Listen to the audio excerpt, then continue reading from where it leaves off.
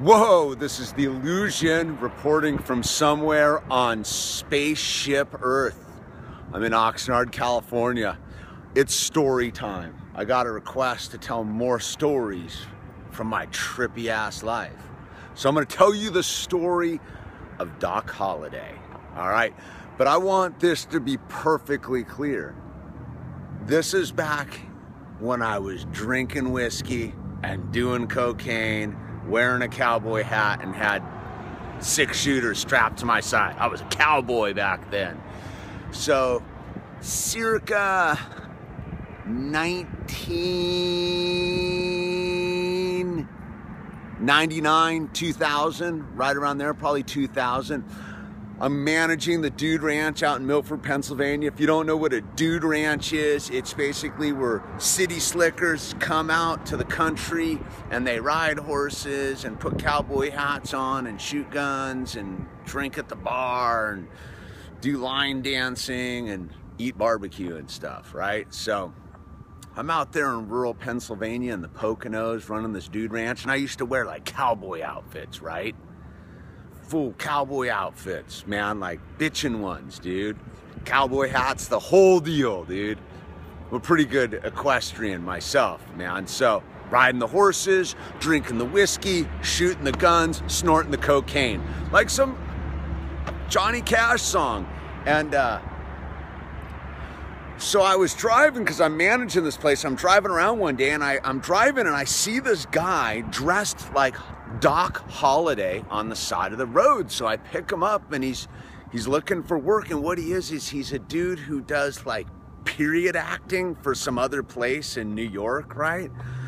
And he's looking for a job, and I got, I got the perfect place for you. So I bring this dude up to the Dude Ranch because we were always looking for people to work, man. Because, you know, there's a lot of shitty jobs at a Dude Ranch. And uh, the the turnover is incredible because everyone's getting hammered and we're all partying. And it's madness. It's madness. It's it's a kind of madness most people have never experienced. And i was co-managing the madness. And anyway we pick up this dude doc holliday right? So he's there and all he has is doc holliday outfits right? It's this older guy. Doc holliday dude. Just the the, the bow tie and the fuck the black and the cowboy boots and the hat and the whole thing and he used to carry this black powder gun, right? Because it's legal in Pennsylvania. You can carry a single shot black powder gun if it's like 200 years old. So he rolled with this thing.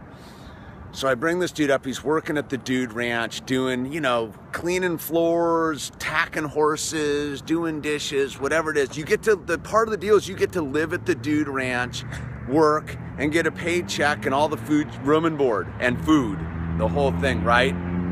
So it's the night of the Tyson Holyfield fight. Just check that out. It's the night of the Tyson Holyfield fight, right? And at the time, we have we used to book out like two months straight of pure Girl Scouts. I don't know if I've told this story before, but whatever, dude. We used to book out to Girl Scouts, right? So we had all these Girl Scouts there. And when the Girl Scouts were there, the saloon would shut down, and most of the uh, staff was alcoholic, dude. So we would, uh, I love trains, man. Here we go. We got a train coming up in the dream. Yeah!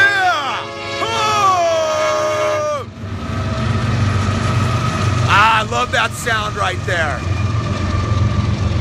Ah, it's a good sound. So, uh, so it's the night of the Tyson Holyfield fight, right? So the saloon's closed. So the staff wants to drink, right? So I round up the staff and I, I go, look, we're going out to this meadow out into the forest. We live in like the boondocks, dude. So I'm going, we're going out to this meadow out in the forest, and there was this drunk dude, I forget his name, big dude. And he was all just six sheets to the wind.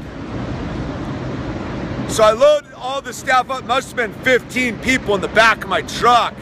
And we're going the back way out of the dude ranch. And all of a sudden this dude's like, and there's gonna be some swearing in this video, people. Fuck the Girl Scouts. What And he says this literally as like 50 Girl Scouts are rounding the corner and their eyes bug out, dude. Like, Girl Scouts, man. And I just keep driving, dude. I don't even stop for the girl. I get out in the field, right? And I'm out in the field and we're drinking and we're partying. And I used to, this dude gave me this gold money chain. It wasn't really gold, but a money chain, you know, with the dollar sign and the chain. And I had it double wrapped around my neck that night because I was, I was on one, dude. Whatever. So this dude starts talking smack about the Girl Scouts, and I'm like, hey, look, man, those Girl Scouts pay the bills around here, dude. So you're not gonna talk smack about the Girl Scouts because without the Girl Scouts, we don't eat, bro. The electricity don't come on. The beer don't flow, bro.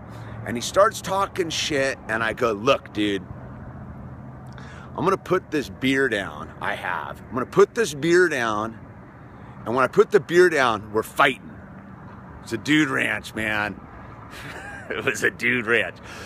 So I, I, and I go when I get this chain off my thing, and it's we're fighting, right? So I, I start unraveling the stupid chain I got on my thing, and I put it down.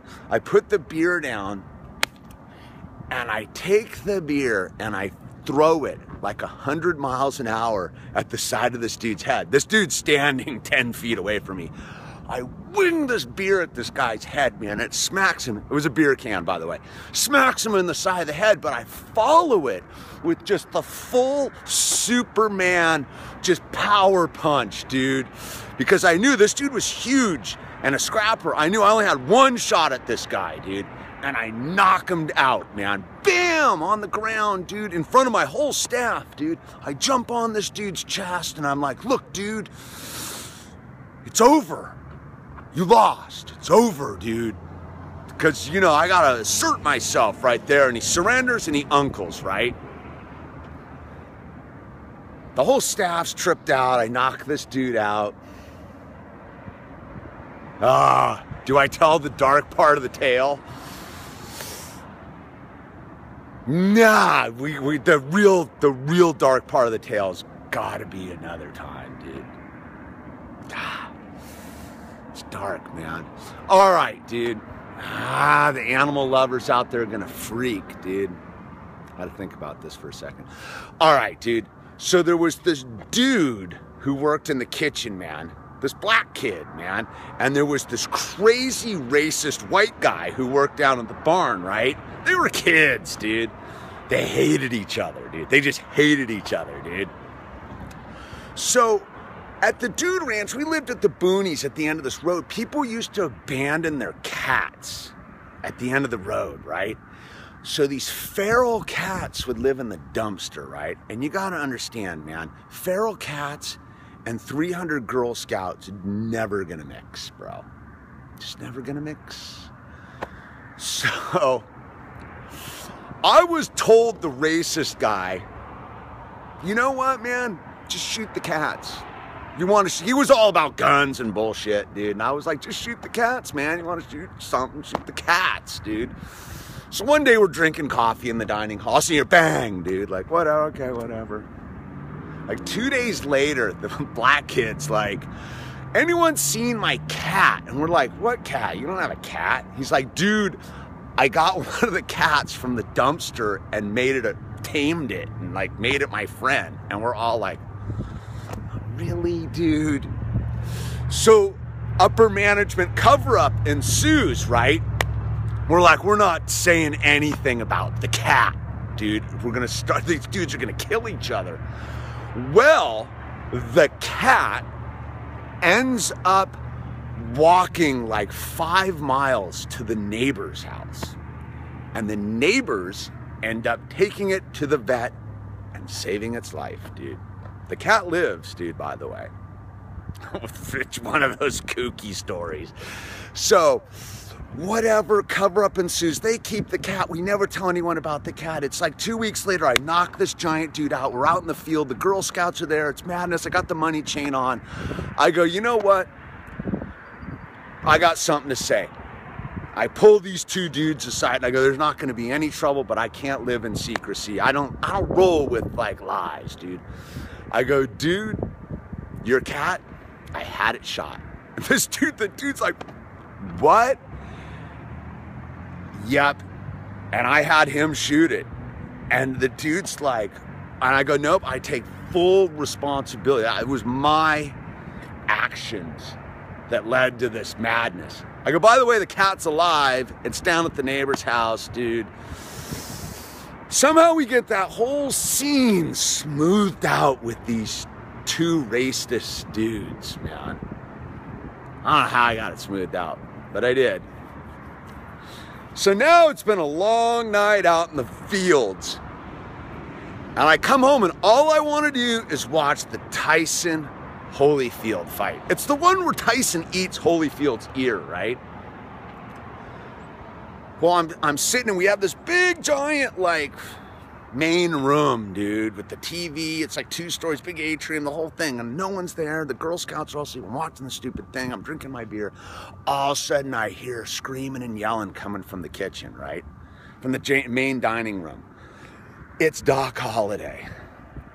Doc Holliday isn't going to wash, mop the floors of the dining hall. But understand the dining hall, up above the dining hall is like 20 rooms full of Girl Scouts, dude. Like 150 Girl Scouts. And he's screaming and yelling, I ain't washing the, I ain't mopping the floors of the dining room and the whole thing. And I go, and I'm like trying to watch the Tyson Holyfield fight. I go in there, I go, look, dude. I go, man, you either mop the floors the dining hall or you don't. But I don't want to hear any yelling, dude.